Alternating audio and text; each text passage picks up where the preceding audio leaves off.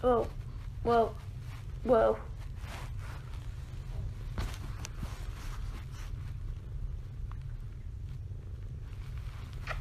Okay, I was gonna do a video about my food that I just ate, but I just want to take a moment to acknowledge this Kiehl's mask that I just did. My skin was looking all kinds of rough, including that thing that is not as big as it was.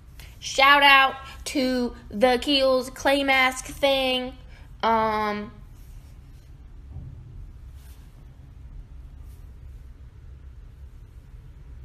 thirdly,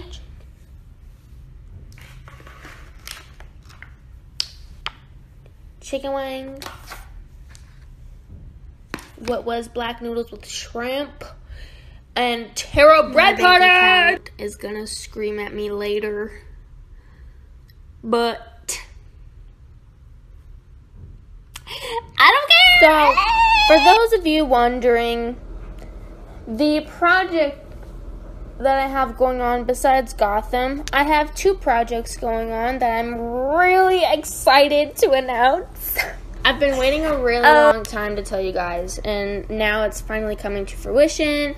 And I'm just like, I can finally talk about it, which is really exciting. So, um, so the first project, um, I've kind of been working on for a little bit, um, and the second project is more of an, a new project. Okay, fine, I'm just going to say it. So the first project is my brain, and the second project is my heart.